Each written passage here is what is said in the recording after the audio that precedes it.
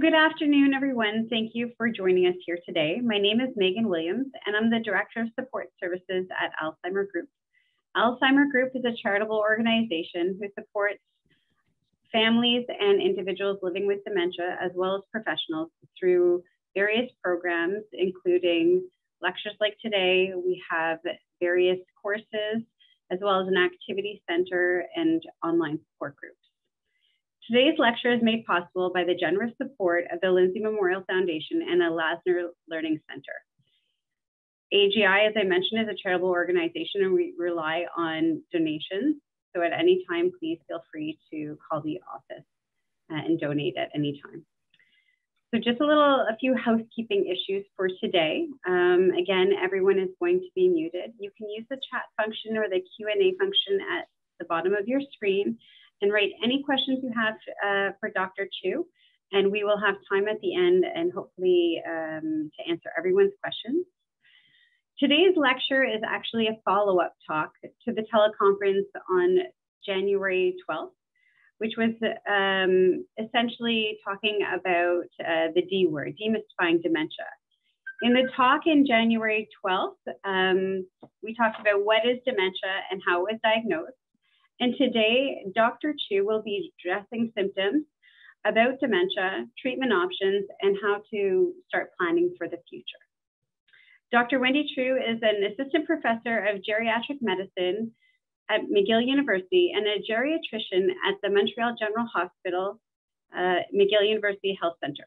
Her work primarily involves multidisciplinary assessments and rehabilitation of the frail elderly at the MGH Geriatric Day Hospital. So without further ado, Dr. Chiu, the floor is yours. Thank you.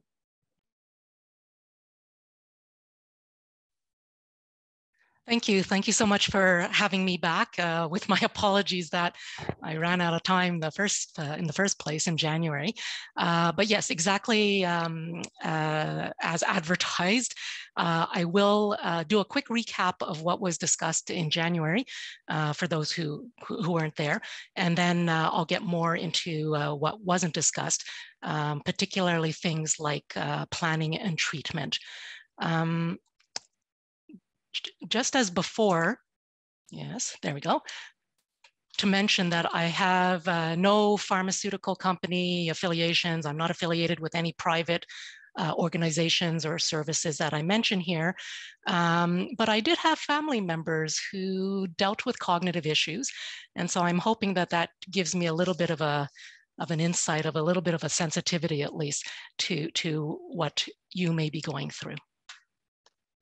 So in terms of overview, and I'm not sure why my computer is going nuts, but anyhow, uh, we, we talked a bit about the brain, some of the terminology, which I'll briefly recap, um, types of dementias. And uh, I have to admit, I thought we talked about symptoms, but I'll go into them anyhow this time, but focusing mostly on, on treatment and some other issues. So to recap, dementia this word dementia it's a scary word the d word you know it's worse you know back uh, 10 20 years ago it was the c word right? Like cancer. Nobody ever spoke about cancer right? Because it was shameful and so forth. Well now people are people are running marathons for cancer right? So dementia has still got a little bit of a stigma about it but all the word means is that there is objective evidence of something going on with the cognition, the, the, the memory and so forth, that's some sort of cognitive impairment and that it's having an impact in the way the day the, the daily life of the person okay? It's having an impact on function okay? It is not normal aging. It may look like depression or delirium. Flip side depression and delirium may look like dementia and there are some certain medical conditions that may also mimic dementia okay? So a lot of the process of diagnosing is to rule out those sorts of things as well. So there is cognitive impairment. What does cognition mean? I myself frequently slip and say memory, but it's more than just memory, okay? It's things like language, you know, trouble finding words, less fluent. It's uh, things like sometimes even uh, perceiving things in space, visual, spatial, or even seeing for that matter. It can deal with ability to learn. It can deal with feelings, um, taking initiative, judgment, so-called frontal functions. All these kinds of things are considered cognition. And while memory is the most typical thing um, early on, or especially that people notice, dementias can also present first with these other things, which make it sort of harder to say, oh, you know what, is that cognitive? Is that dementia? Um, or is that person just, you know, being insensitive and rude to me? Okay, so cognitive impairment. And how is that diagnosed? Um, to have objective evidence of that cognitive impairment, typically it's first seeing the family doctor. Hey, doc, I'm worried about something's going on with my memory. I'm worried something's going on with my dad's memory, et cetera, et cetera. Okay.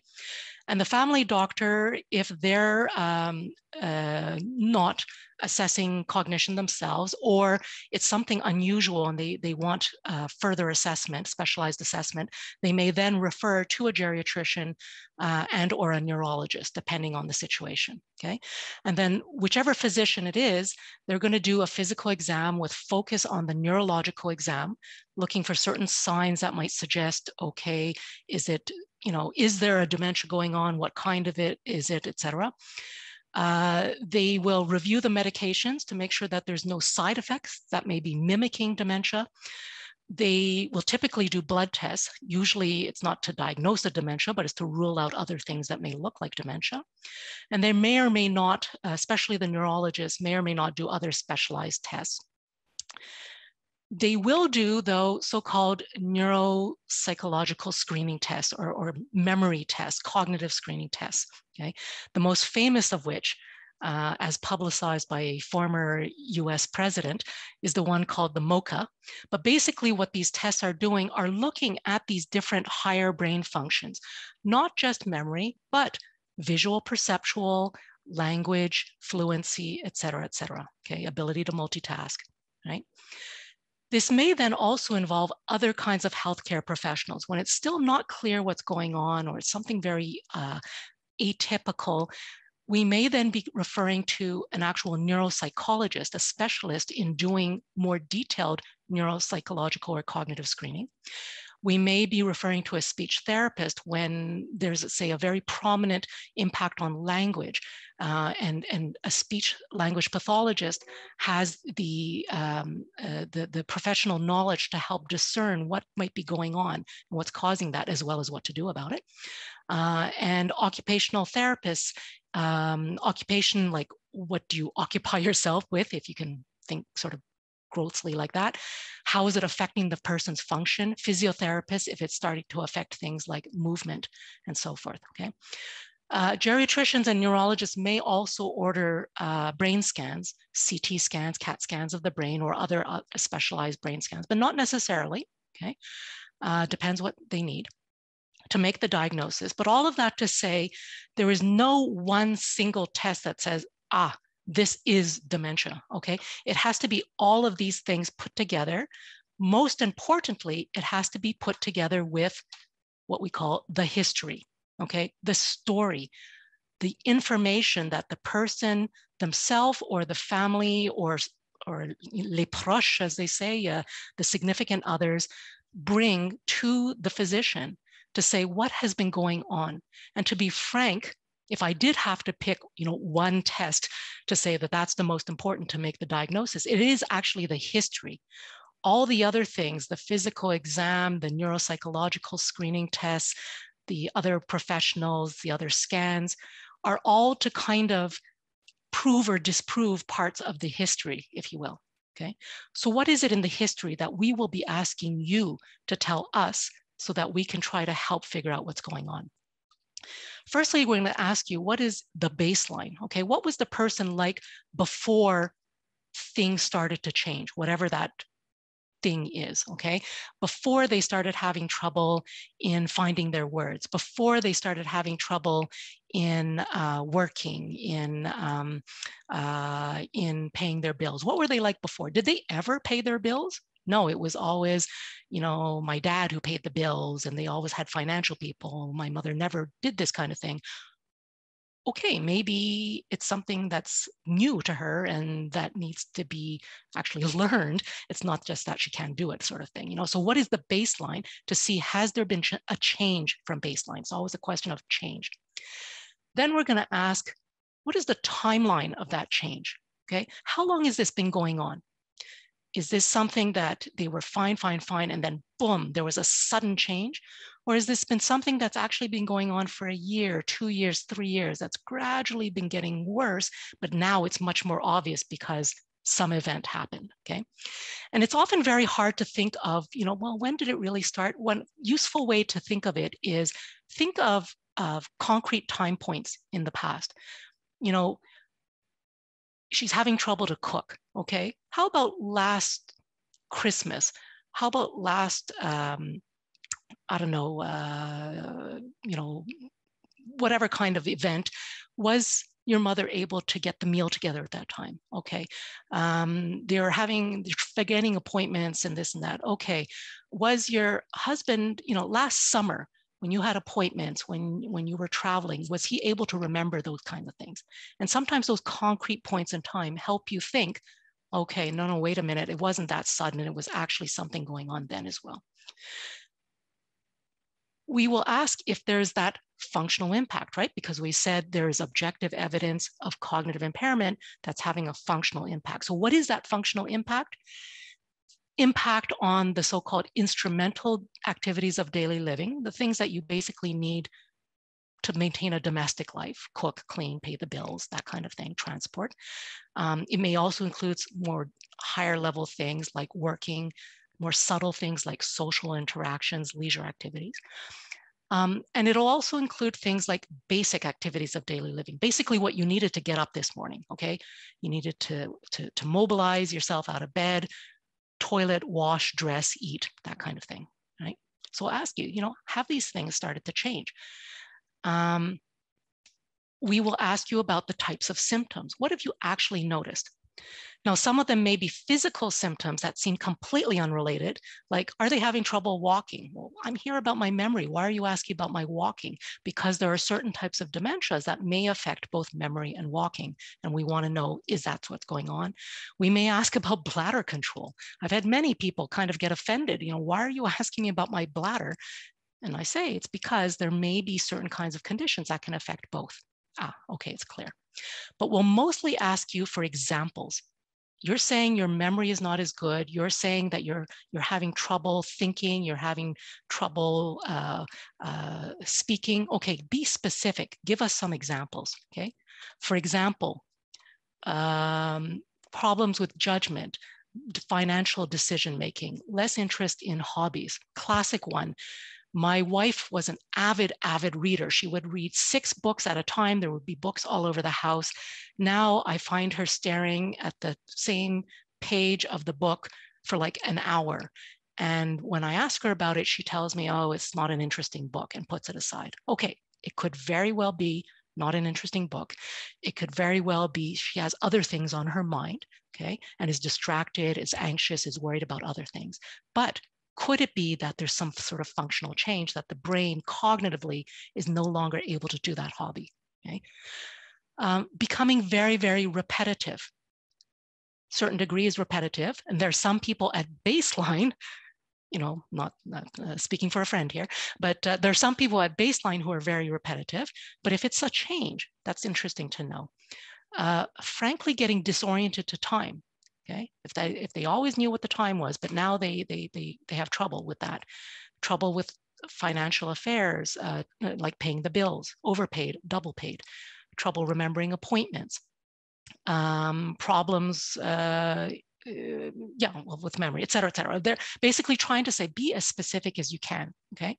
Because we use all of this information not only to make the diagnosis of dementia, but we also use it, particularly the functional impact, to stage what's going on.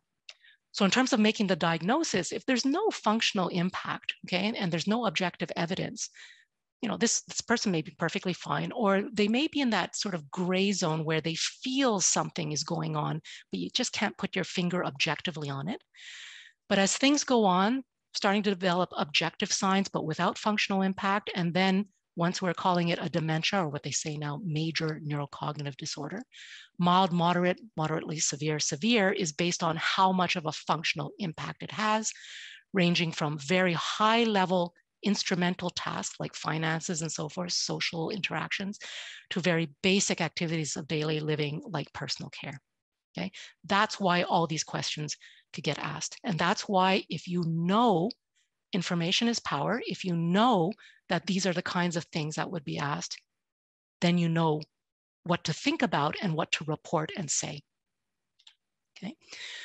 We will also ask questions about safety because maybe there are no issues about safety, but maybe some of the functional impact uh, will actually put the person or other people's safety at risk.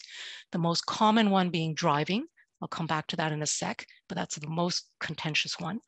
Um, is there a risk of fire for getting the stove on? Has a person gotten lost? Double dosing medications. Uh, I, I, in fact, a person I was just seeing earlier today uh, was having uh, falls and fainting spells, and it turns out it was probably related to double dosing her blood pressure pills, and so her blood pressure would go really low, and she would fall and faint. You know, faint and fall rather. Um, are they at risk of being uh, abused financially, exploited? Are they able to call for help if they need help? You know, do they even know to dial 911? Do they know how to dial, uh, how to call uh, a family member? And particularly in the States, as we know in the news very recently, um, we may even need to ask about access to dangerous things like firearms. We will ask uh, also about uh, impact on behavior, uh, like emotions, like ability to plan, uh, to be able to inhibit uh, you know, she has no filter anymore. You know, it, it, boy, your dress is really ugly. I mean, oh my God. Okay. Normally you wouldn't, how can you say that to her? Normally she wouldn't say something like that. Now she just says the first thing that comes to her mind, okay, is that some sort of change in behavior that is actually related to what's going on?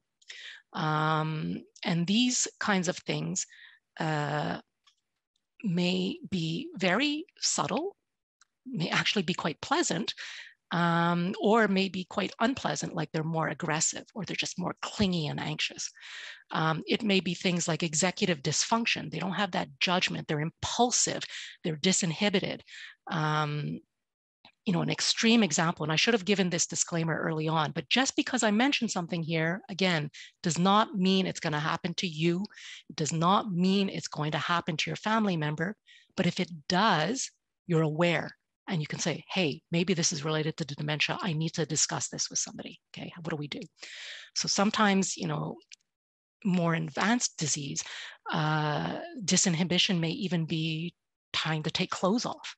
Okay. Um, now, there may be a reason, what we call responsive behaviors.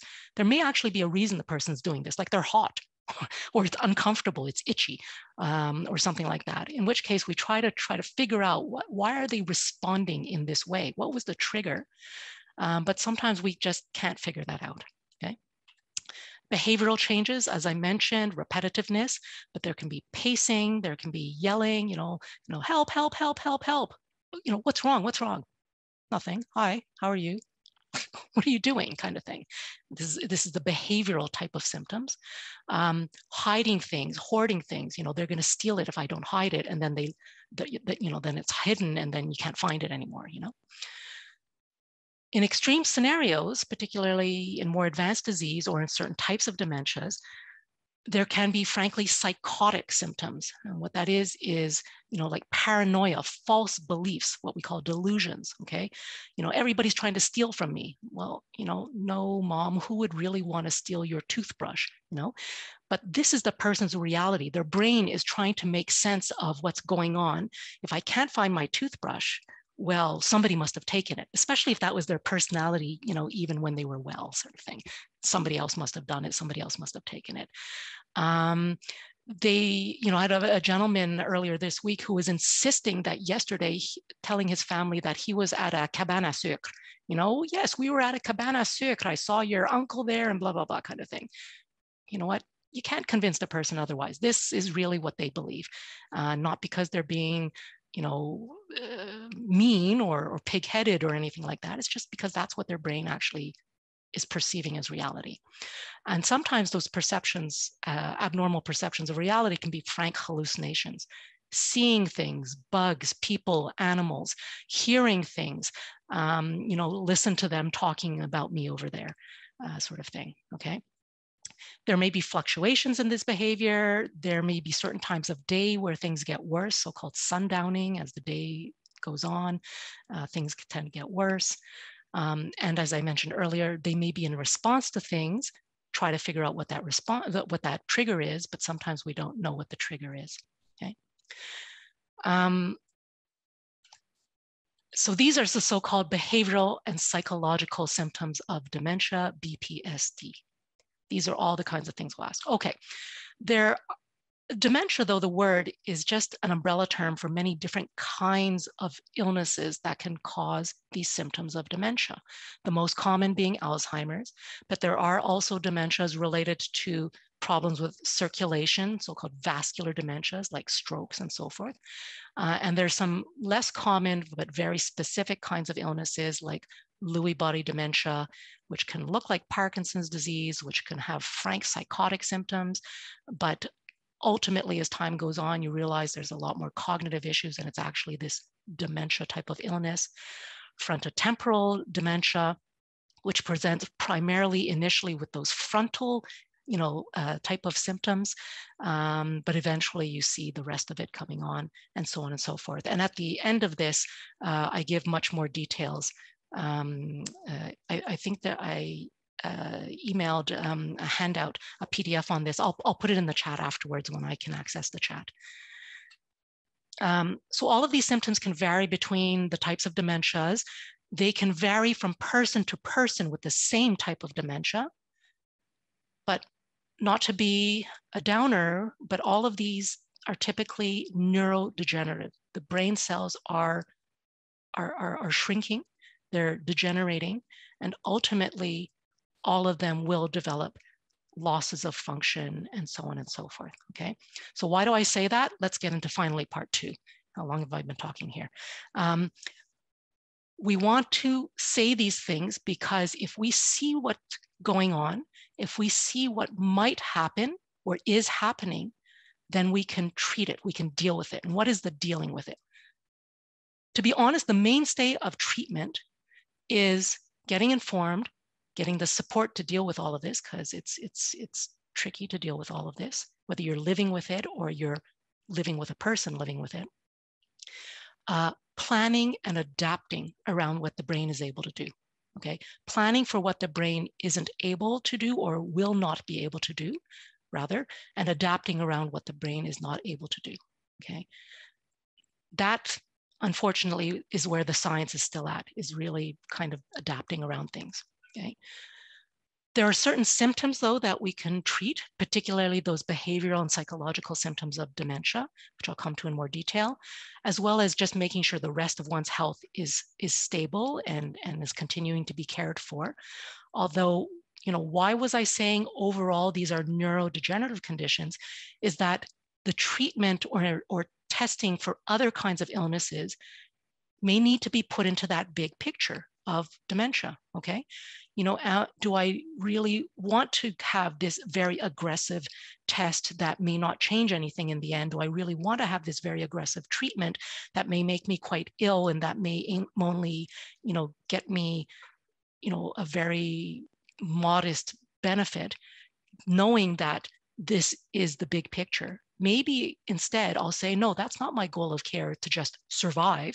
My goals of care are to have quality of life. And this is how I define quality of life. Okay. So to put it in that big pictures thing. And then there are some cognition specific treatments with and without medications, which I will come into. Okay. So number one, information and support. Information is power. Just as I mentioned earlier, having awareness and anticipating what may be the symptoms, what are going to be kind of the, the potential management treat, uh, and treatments for it. Um, knowing medications, forget about dementias. If you're taking medications, inform yourself. What are the potential side effects of this medication? Because if something happens, you know, you're you're taking calcium pills for osteoporosis, okay? Boy, I'm really, really constipated. Oh, look, one of the side effects of calcium can be constipation. Okay, so what do I need to do about it? You know, um, so just knowing medication side effects because uh, could it be causing memory problems or could it worsen memory problems in somebody who already has a dementia, let's say, and have the resources to deal with these sorts of things um, so that you know who to ask, you know what to ask, and you're not afraid to ask these kinds of things, whether you're the person with dementia or you're the family member, the caregiver of the person with dementia, okay? Because then you can advocate for yourself. You can advocate for your person. The reality is the system is a system, okay? And even the most caring healthcare professionals are in a system. So they may not always know this is your concern. They may not always ask, is do you have other concerns or, or, or problems going on? So you can say, okay, this is what's going on. I need help for this. Um, this is what's important to me. How do we achieve that goal? Kind of thing, you know?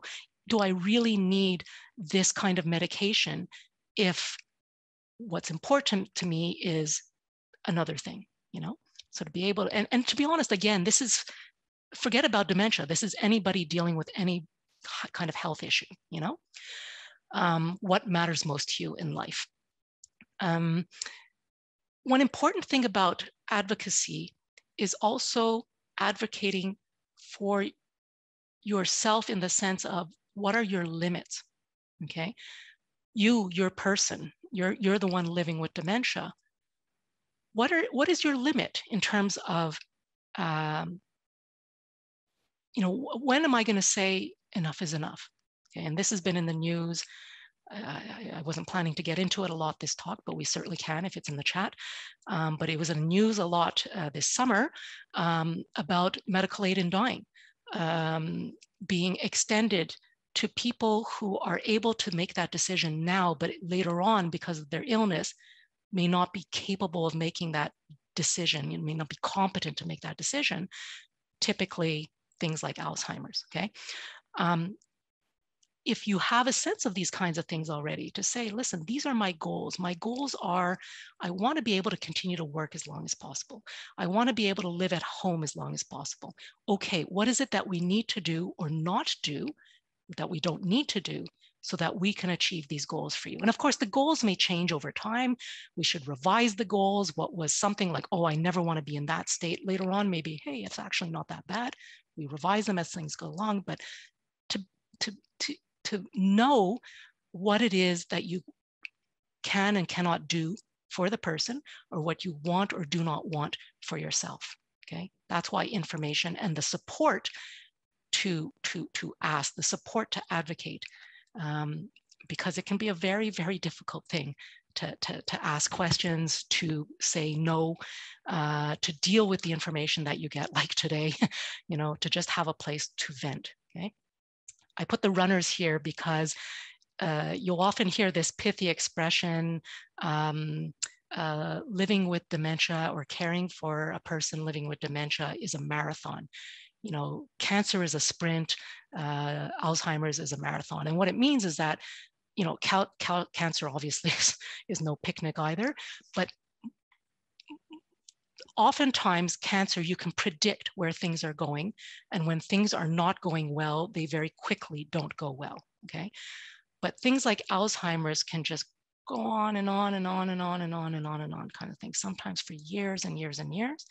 And so if you go running out of the gate at full speed at the beginning of the marathon, you will have no energy left to complete it. Okay.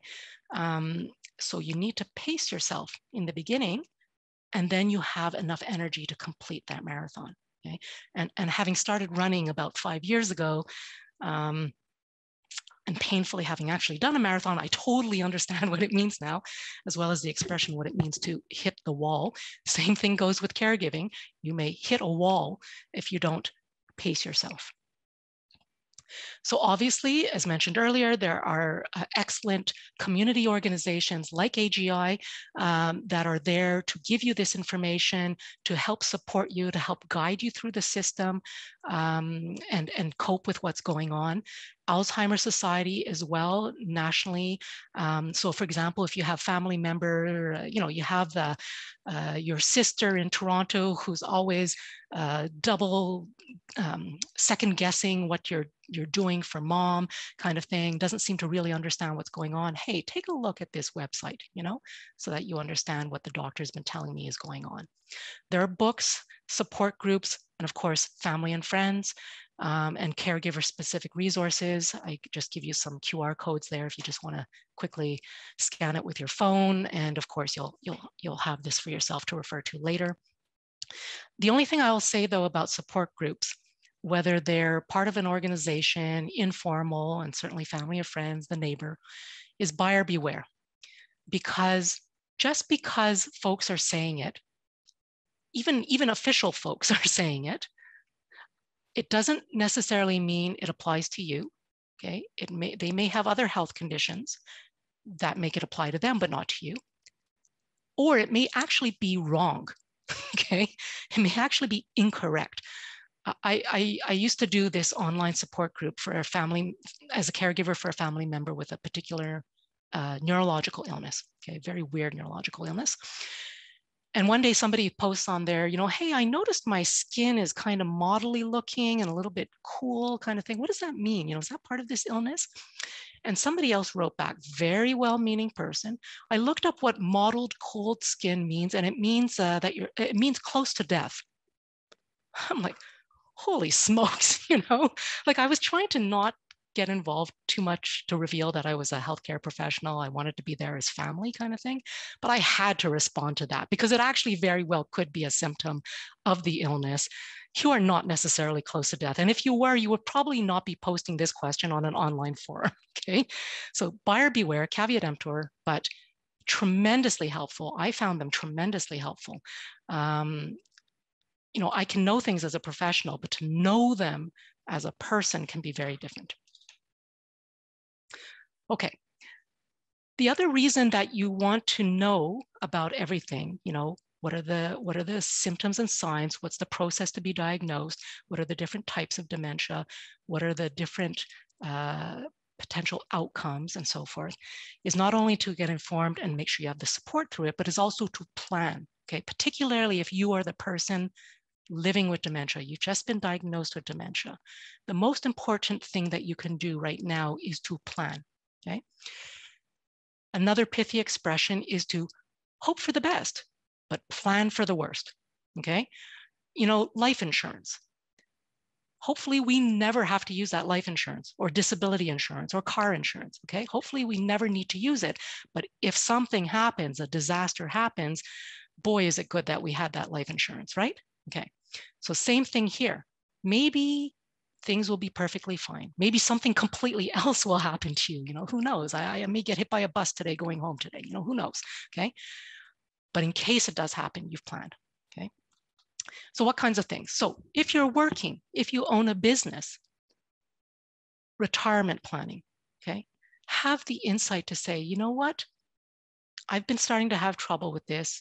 My colleagues have started been commenting on, hey, you know, you're late with that project again, or or, or saying that, you know, I'm not sure I'm being accurate here. I have to keep getting my work double checked to say, hey, you know what? Maybe it's time for me to retire or at least plan my retirement, particularly if I know I have an illness that may decline. Okay.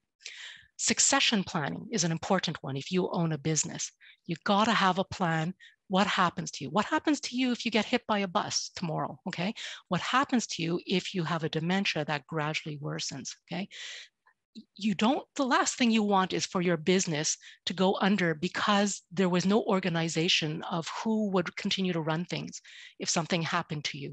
Okay? And, and I have several patients where sadly that's what's going on, uh, or there's squabbling between the various uh, board members or family members or whatever for the business sort of thing.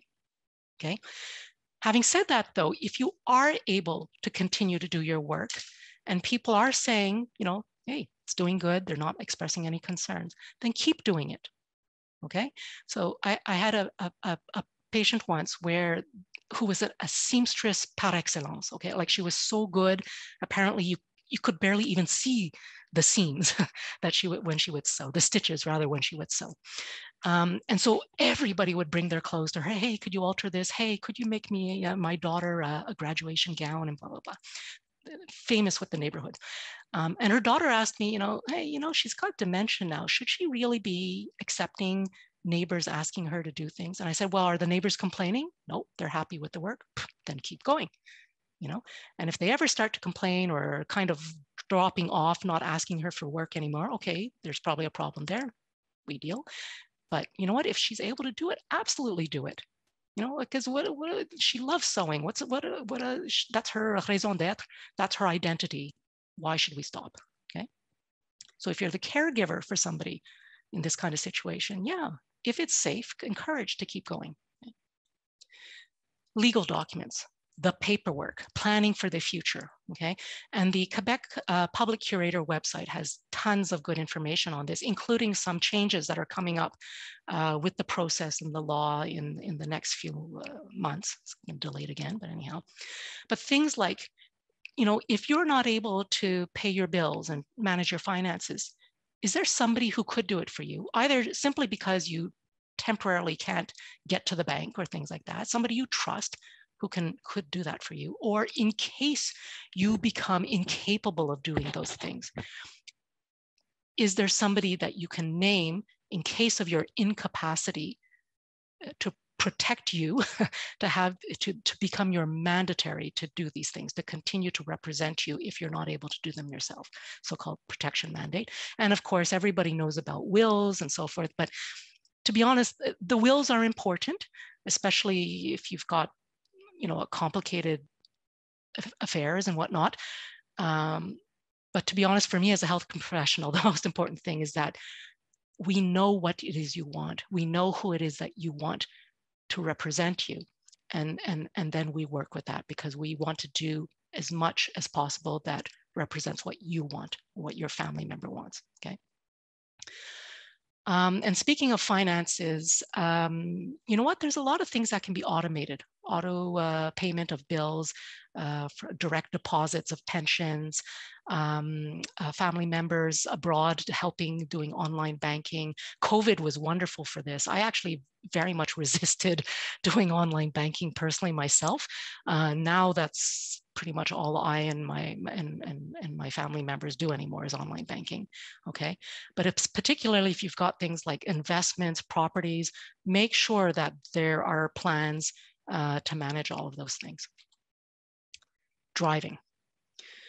This could be a whole talk in and of itself if it hasn't been already, but driving you know, driving is never routine. Oh, I'm just, you know, in my neighborhood. Oh, I'm just going to, you know, the, the local shopping mall. Driving is never routine. Yesterday, I was driving and this uh, kid uh, suddenly, he, you know, these skateboarders, he, he's, it's fun. He's going down these stairs, but the stairs end at the sidewalk, okay? So he's barreling down the stairwell with, on his skateboard and he turns to stop at the sidewalk, but of course his skateboard doesn't immediately stop. So he actually ends up hopping into the street, okay, um, off the sidewalk. Now, luckily I saw him coming down, okay? So I started slowing down, anticipating what if this guy falls or hops in the street, and sure enough, that's what he did. So I was able to, you know, make a little round kind of thing. But what that meant was, okay, I'm driving, I'm listening to my radio, I see that kid with the skateboard, I'm slowing down, I'm also noticing who's behind me so that they don't, you know, rear end me, and so on and so forth. Driving is actually a very complex task. So if you're having problems with visual spatial, with judgment, with remembering, you know, maybe the rules of the road, et cetera, et cetera, absolutely can be affected by cognition. Um, there, there's a, a book, um, uh, calls uh, uh, aging, successful aging. Um, I'm blanking, uh, I think it's actually uh, Dr. Dan Levitin, if I'm not mistaken. Um, I'll try to find it later on, but I'm pretty sure it's called Successful Aging. And, it, and it's actually very interesting. It goes through a lot of the science, you know, does this diet prolong survival versus that, or you know, you know, all these kinds of things, genetics, etc. And in his introduction, he says probably the two most important things to uh, successfully aging. One is genetics. Well, not a lot you can do about that, right? But two is being flexible, is the ability to change, to having the insight into knowing, hey, things aren't working so well that way. Let me plan, let me adapt to do it another way. Okay, so that I can still meet my goals of my quality of life. Okay. Very difficult when it comes to driving. Uh, very commonly, people get defensive, and for good reason. You take a car away, especially if you live in a rural area, especially if you live in a, a big suburb where all the stores are like big box stores uh, far distances apart. Not being able to drive will seriously impact your independence. There's no question. There are alternatives. And whenever we start discussing driving, we got to discuss what are uh, alternatives. But we have to ask um, it is our professional and ethical obligation to ask a person about their driving if we are diagnosing them with cognitive problems, particularly if we are diagnosing them with a, a more and more and more advanced dementia or certain kinds of dementia. Uh, we are ethically and, and professionally obliged to tell the driving bureau, the SAAQ, about this person's medical information. We're not deciding whether the person keeps their license or not. And, and the SAAQ may perfectly say, uh, no, this person's fine, maybe just make these little adaptations and we'll reassess you next year and don't worry about it. But I have to report. And to be honest, in some provinces and some jurisdictions, doctors are legally required to inform the driving bureaus. Uh, Ontario, for example. And if they don't, there could they could be subject to uh, to um, civil lawsuits and so forth. Okay, so we may be asking things to the family or or to the person with uh, cognitive impairment. You know, are you comfortable being a passenger in this person's car? Or even better, would you let your dad drive your children to school? Uh, would you let your husband drive the grandkids to the park? Okay. And if the person says, oh God, no, no, no way. Okay. Hey, there's a problem. There's a little red flag there. Why are you saying that? Okay. Accidents, near misses, traffic violations, um, subtle things like self-restricting their driving. I, you know, I used to drive on all the highways, but you know what? Um, I don't drive on highways anymore. Well, why aren't you driving on highways anymore? You know, your spidey senses are tingling there, telling you something, right? Have you gotten lost? Uh, did you need a co-pilot? And so on and so forth. And to be frank, when we renew our driver's permits, we are supposed to answer if you have cognitive problems or if you have any change in your functional independence. Legally, we're supposed to declare that, okay? Um, and for more information on this, the SAAQ website actually has, uh, has good information on there, okay? We also need to plan for progression. Again, going back to supports, but also knowing the system, what is out there. If you need help in X, what is out there to help you with that? What is not out there? You know, what can you not expect to happen? So some people will say, well, I'm fine at home until XYZ happens, and then I should move to a residence. Then I agree to move to a residence. Well, moving to a residence doesn't happen like this, okay? You need to plan for these kinds of things. Same thing for family, okay? Um, financial issues I mentioned earlier, um, particularly for family members. Um, and the, then the goals of care, the big picture. What matters most to me? And this may include things like, do I want uh, um, artificial life support, you know, intensive care, breathing machines, uh, dialysis, artificial uh, kidneys, that kind of thing, uh, artificial feeding through through uh, tube feedings, and so on and so forth. Some people have never really thought about it, and so it's worth giving some thought to. Some people have lived the experience and thought, you know, I saw my father go through that. I never want to go through that myself. Okay, put it down on paper, let people know. It, it can change, you can always change your mind, okay? But if you're very clear of what you do and do not want, uh, you know, document it so people know, or at least tell people so that they know. Living arrangements can be a very, very delicate one, as I alluded to earlier, okay? Um, know what the options are. That you know, I'm not ready to move to a residence yet. Okay, but people started talking about it. You started thinking about it. You know what? Start looking around. Oh yeah, I want to live in this neighborhood. Well, start looking. What's available in that neighborhood? How do I get in there? How much does it cost? What kind of facilities do they have? And you don't have to go there now, but at least you know. So when uh, you know you do need to go, or if you do need to go, you've done all the legwork already. Your family's your family, uh, you've done the legwork already competency assessment, so and so, is, is also a very contentious issue that may come up in planning. Um, so the more that is planned in advance, the less uh, contentious it can be later on in life. Um, typically regarding finances and where a person lives because of safety. And then end of life uh, care planning, as I mentioned earlier, uh, as well, okay? You wanna maintain your general health in terms of maintaining your other health conditions keeping as physically active as possible, which is good for numerous health conditions. I'll come back to that in a sec. You want to minimize or frankly even stop substance use. Um, you know, you hear about, oh, a glass of red wine is good for your memory. Okay, that may be for prevention. But now, if you're actually having memory problems now, um, or you're having falls or whatever, it's probably not good anymore. So if you don't miss it, get rid of it. Or if you're drinking three, have two. And if you're having two, have one, or, you know, etc okay? The less things that put strain on your brain, the so much the better. Depression uh, definitely can happen in dementia amongst many other health conditions. Um, watch for it, treat it if it does happen. Don't just brush it under the rug, sweep it under the rug. And all of these things exactly go for the caregiver as well okay? Because if the caregiver is the captain of the ship and the captain goes down, the whole ship goes down, right?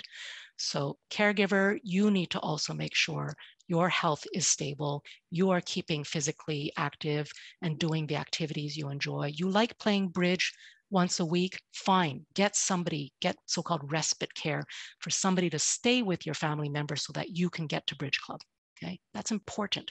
Otherwise, you will burn out and you will go down too.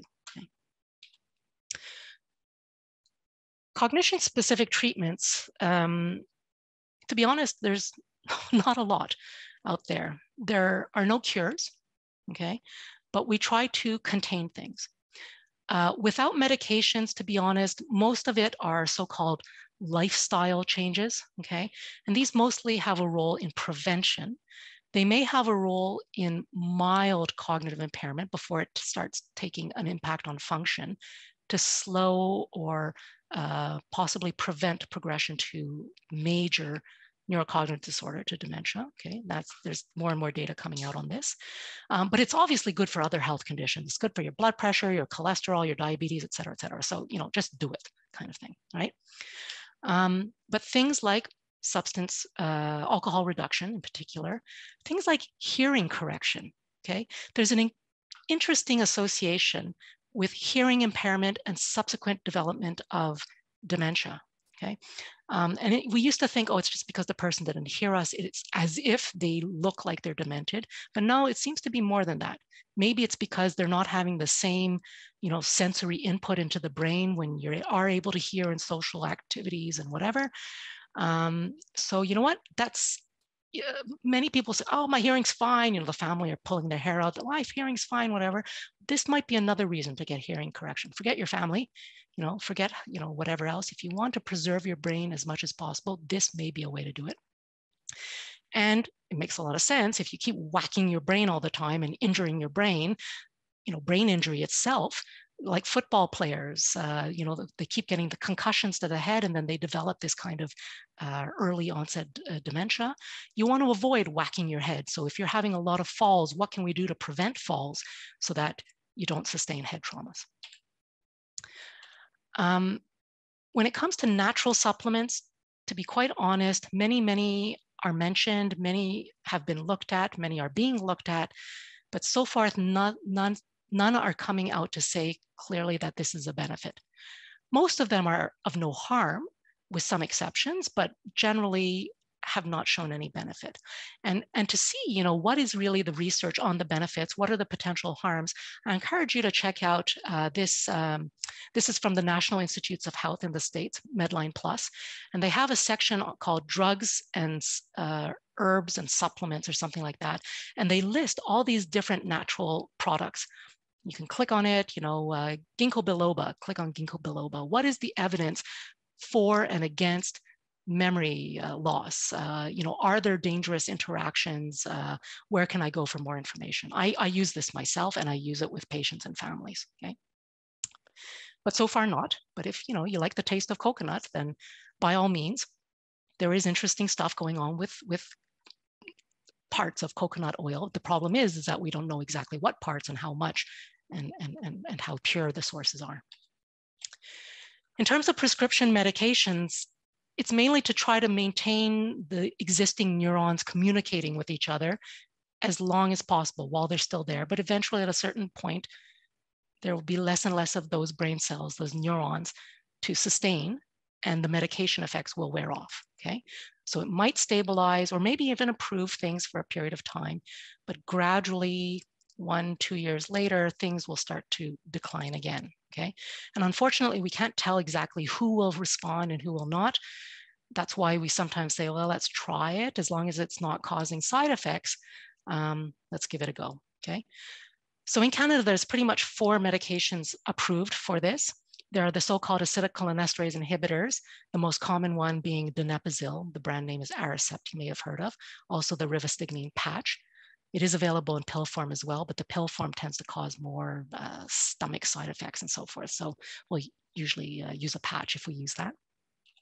And then there's another one, a completely different mechanism of function, but um, called memantine, which may have some benefits in more advanced dementia, um, or not.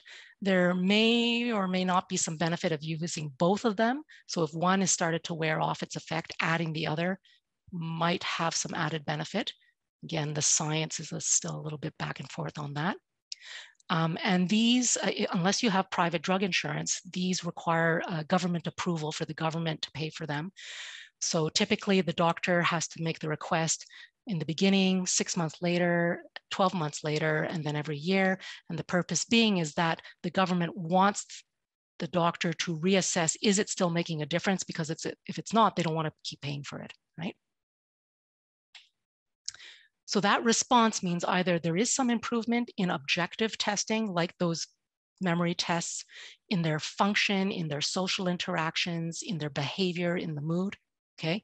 If that improves or stabilizes, that's considered a positive response that the medication quote unquote worked, okay? Because the alternative is that it continues to decline. But there are side effects with every kind of thing, okay? So we gotta consider the side effects and is it really worth it if the benefits are modest, okay? That's why we wanna say, you know, planning and adaptation is the main treatment. There are certain situations where it actually may help for other reasons than just memory, but uh, those would be discussed with you at the time. Many people have heard about the new Alzheimer medication. Uh, last summer, it was a big deal, um, so-called immunotherapy to try to target uh, of not building up the abnormal proteins in the brain that, that cause the cells to degenerate. Um, but uh, it's still only approved in the States. It's not convenient to give. It can have a lot of side effects. And the controversies have to do with things like its very high cost, um, uncertain if it actually has clinically significant benefits. Sure, maybe the MoCA point went up uh, by two uh, went, up by two points, but what does that really mean in real life? Um, it requires specialized testing that generally you cannot access, and so on and so forth. Okay. So there's stuff in the pipeline and it's targeting all kinds. It's trying to target things even before there's cognitive problems, as well as uh, when things are starting early onset and as things become more obvious, whether it's in the bloodstream, whether it's in the uh, uh spinal fluid that bathes the brain, whether it's on imaging tests or whether it's on functional assessment. Um, there are things in the pipeline, but still what I mentioned earlier is the mainstay of things. Okay, and lastly, because I think this is a question that came up a priori, um, how do we manage the behaviors, okay? The number one treatment of the behavioral and psychological symptoms of dementia is to counter those behaviors with other behaviors, okay? So-called behavior management. So keep things as routine as possible because when routines change, that's often when a person gets you know they can't figure out what's going on and so they react somehow like becoming more anxious or becoming more agitated more angry classic example is they live with one child for most of the year and then for two months a year they go to the other child's home in another province and in the beginning things just completely fall apart because the routine has changed but once they get back into a routine there things will probably settle down okay same thing with moving to a residence. Things may be rocky in the beginning, but once a person gets back into a new routine, things generally tend to settle down, okay? Along those lines, identify triggers. You know, if it's always telling the person, I told you that already, don't you remember I told you that? And that just escalates things. Don't do it, you know?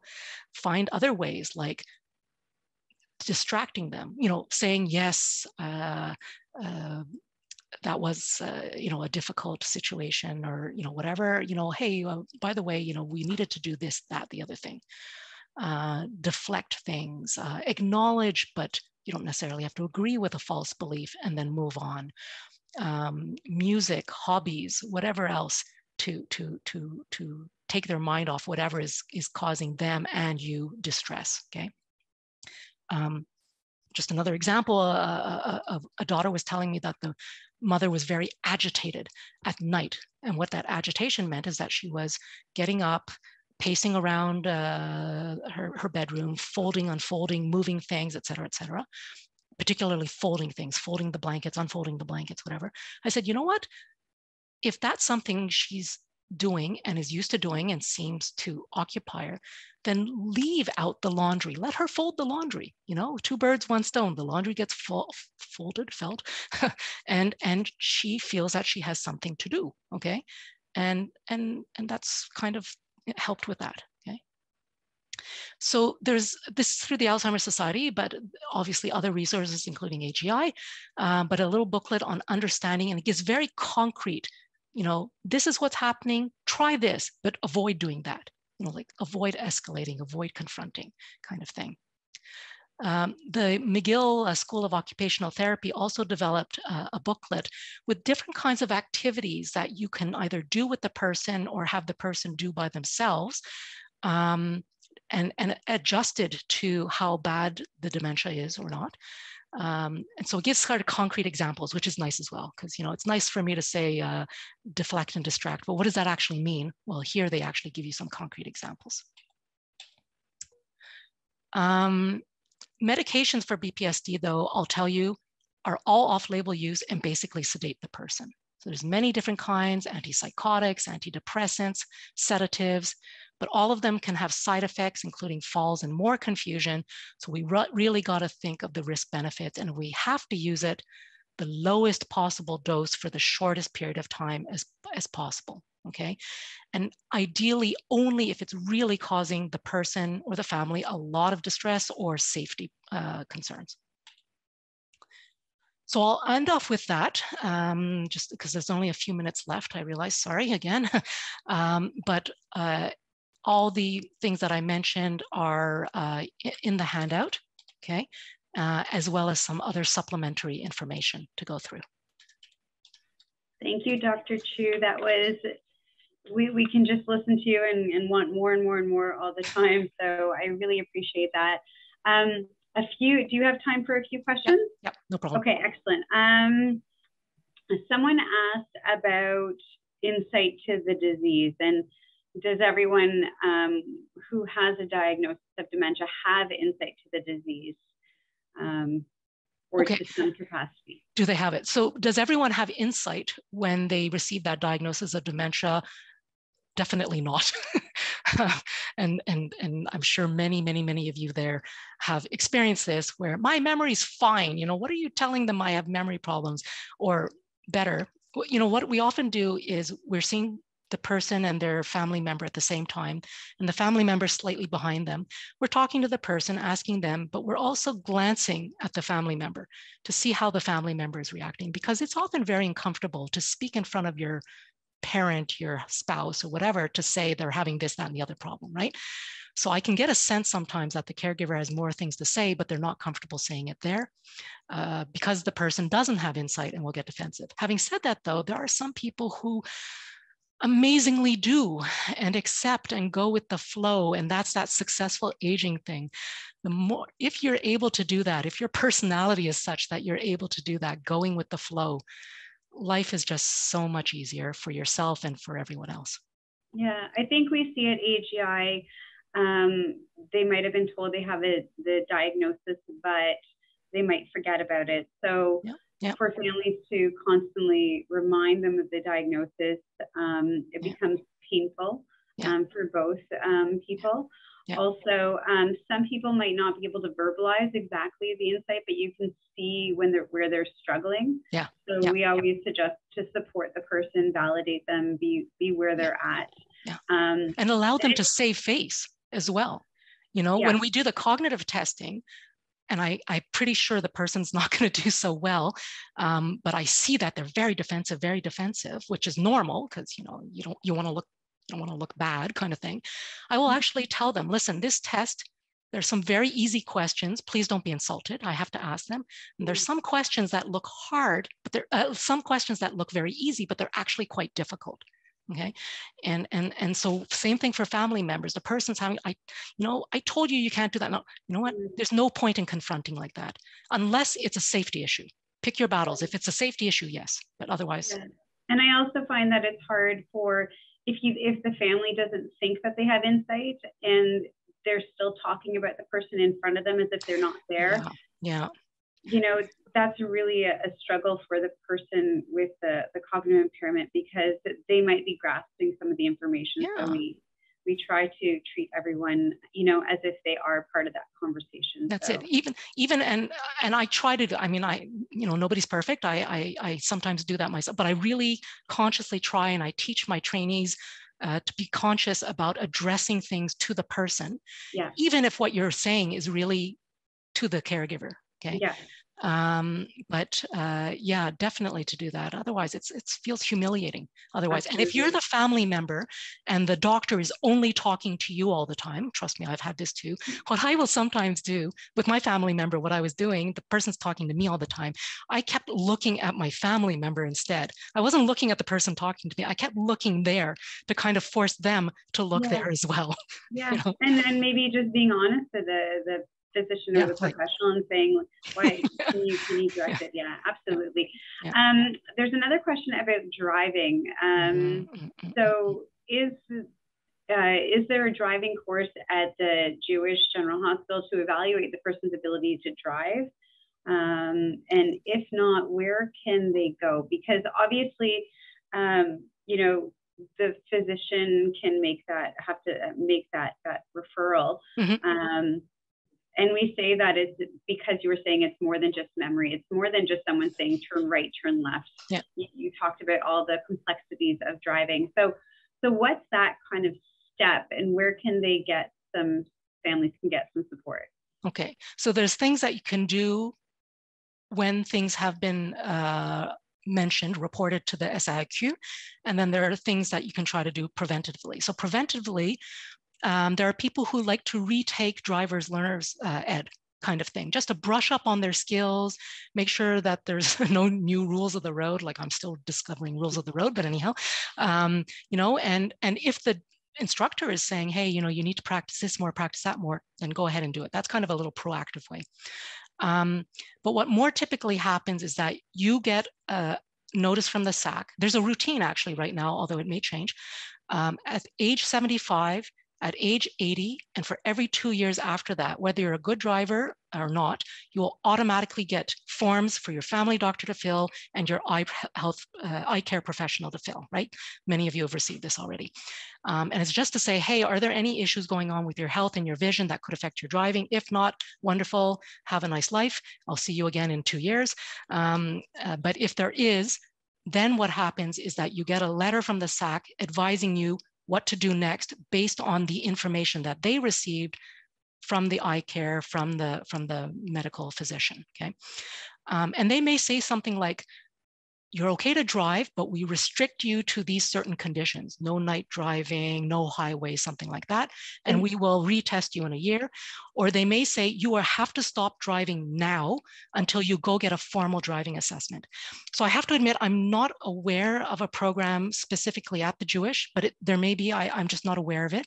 But there are um, in the public system and in the private system, driving specialized occupational therapists, because driving is one of the occupations, who do do this. Um, yeah. So if interested, I can provide resources on that. And obviously to access the public though, that has to go through through public healthcare professionals. Yeah, and what's interesting is these restrictions you were talking about. So there's times where someone would say, okay, well, you can drive, but you can only drive with a passenger. Yeah, a co-pilot. Exactly, which is really hard for families actually, because it's it's if the families don't feel comfortable with the person driving at all, and then all of a sudden they have to, you know, be part of that, and because the person really enjoys driving or, or feels that need to, to be independent, it's a really hard position that sometimes they put families in. Tell the family, uh, tell the healthcare professional though, then who said that. And if you're not comfortable saying it in front of the person, you can either asked to speak later, or when the person's being physically examined, speak to another healthcare professional, or you can call back, or you can send a note, whatever way, you can give as much information as you want to the healthcare professional. The, the, the doctor may not be allowed to tell you things without the person's consent, but they can, you can tell them whatever you want. So if you tell them, listen, I understand you said that, but I'm really, really, really uncomfortable to do that, doctor would probably think, hey, maybe there's some nuance that I'm missing here for that person to be so worried about it, maybe we do need to get a formal assessment. Yeah, okay, thank you. Um, just a few quick questions. Um, you talked about, you know, getting the routine follow-up to make sure there's no depression or the depression can be treated. So um, I know I mentioned this in the past, but when people living with dementia get very emotional, mm-hmm. um, there's a mm-hmm. time where they can get very emotional, where whether they're trying, they're tears are expressed in either joyful events or sad events or just thinking of a memory of you know how much they love their family member mm-hmm. how, how is there any kind of um, treatment that you would suggest to help with those emotions or is it simply just being present and validating um, that person well, I, I, would say there's probably twofold. I mean, if it is genuinely what they are feeling at the time, then yes, it's like anybody uh, but they have a lower threshold to to demonstrate that emotion. You know they're so happy i could cry. I mean that's an expression yes. right? And then they actually start crying but they're happy. That's okay they're like you know kind of laugh through the happy tears kind of thing or they're they are sad and they are crying because they're sad then yeah exactly as you said you support it like anybody else who's feeling sad whether or not they're crying.